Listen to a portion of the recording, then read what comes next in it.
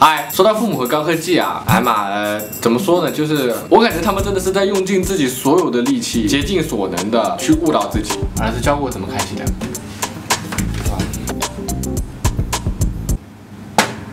不是这么开的吗？这是开机用。他们还有一个习惯，就是喜欢说一些我觉得基本上现在根本不可能会有人说的词汇了。就是大概八十年代会有人说的那种。嘿，儿子，我现在已经会网上冲浪啦。不要说冲浪，就上网就好了。不要说冲浪。还有，哈哈哈哈，我这是晕倒，我晕菜。其实我不是很确定八十年代具体是几几年到几几年，呃，有没有有没有有有电脑吗？比如我的父母吧，他们真的是苦逼到一定境界了，你知道吗？我看得出来他们非常努力了，但是他们依然还是很苦逼。比如我妈妈上网查东西的时候，她是这样查的。嗯嗯。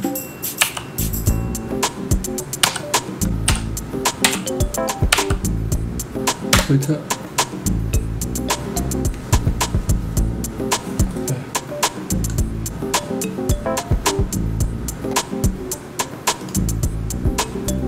哎，好了，我特地帮你把主页调成了百度，是为了什么？好吧，其实这样也可以，至少你可以保证你停留在百度那个页面上了，你没有去什么奇奇怪怪的其他的什么网站。我知道你每次看我新视频都是百度出来的，OK，我知道，OK。另外一件事情就是，我觉得除了我家猫以外，应该没有任何一个生物可以比我妈打字更慢了。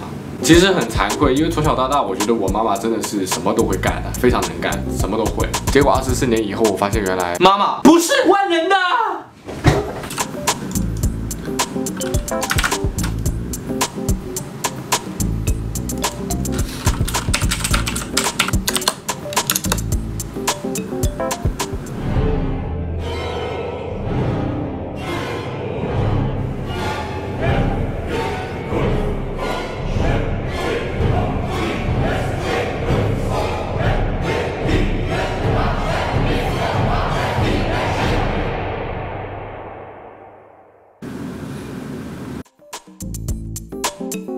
啊，说到这个，我觉得父母有的时候真的是在无心之中就深深的伤害了我，用他们特有的回复方式，那正常人怎么会那样回呢？比如他们很喜欢用。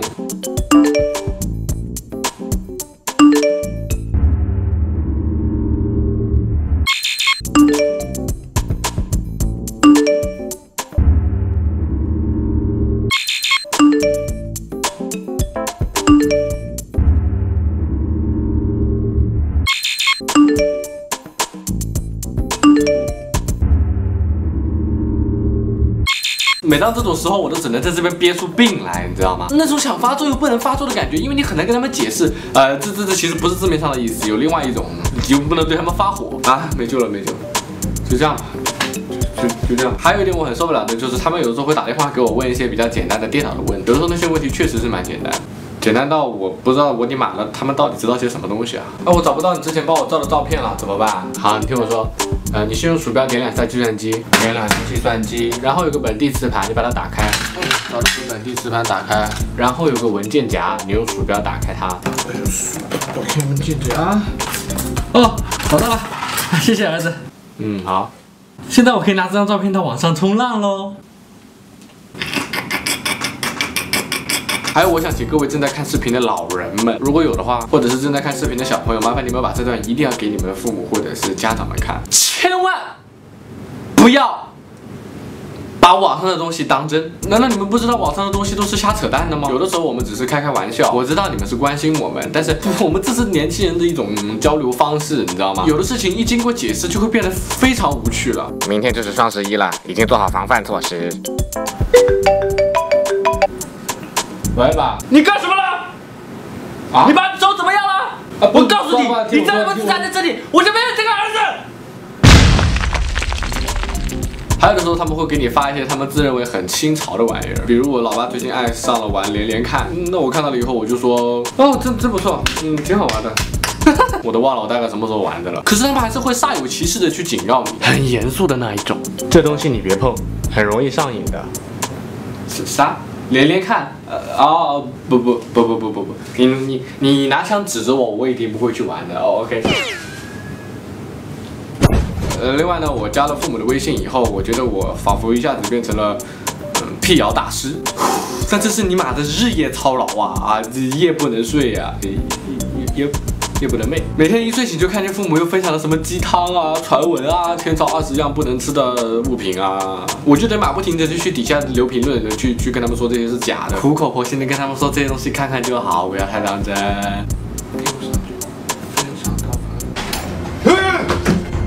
那都是假的，那都是为了忽悠你们的。我不忍心看你们再被这些脑残鸡汤洗脑了。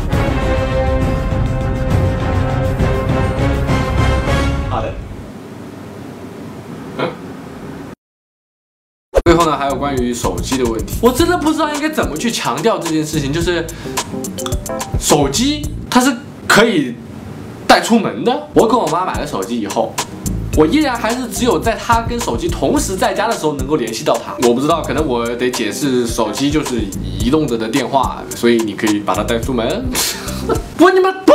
而而且我妈妈发明了一种非常独特的发语音的方式，真的是太有创意了，我都有点怀疑我是不是亲生的。嗨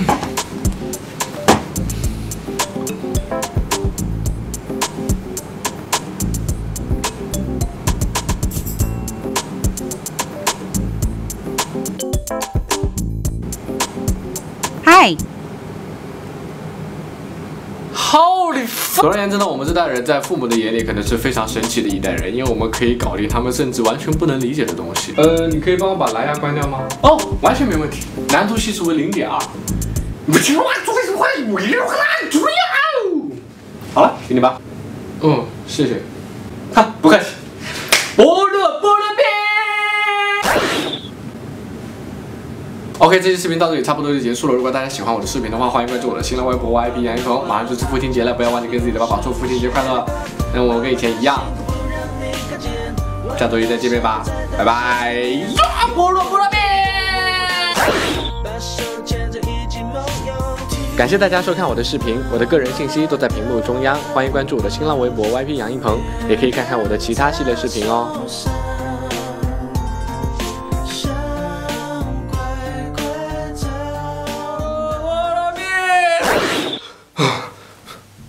老爸，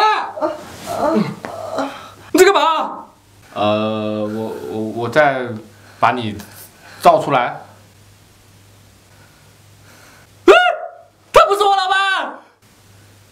所以我是被领养的。